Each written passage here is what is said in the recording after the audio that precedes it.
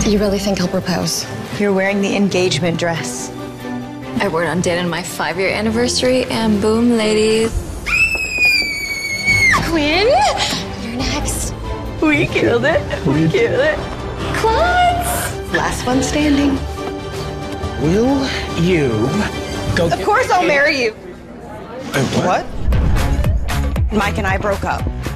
I hereby call this emergency meeting of the Dress Circle. It's a dress that everyone who wears it gets engaged, and it didn't work for me, okay?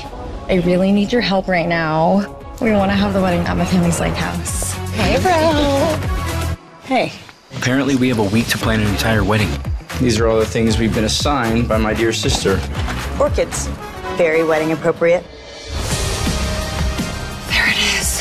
Our fifth grade time capsule? Dear grown up Claudia, I hope by now you're working at NASA and I hope you're married to someone like Preston. Hello. Bertha Claudia. We used to sit out here and I used to quiz you on constellations. I was a big dreamer. I remember. Well, well, well, look what the dog dragged in. Do you think we can try again? What do you want? Maybe you should wear the dress again. The dress knows. You better be nice to me this time.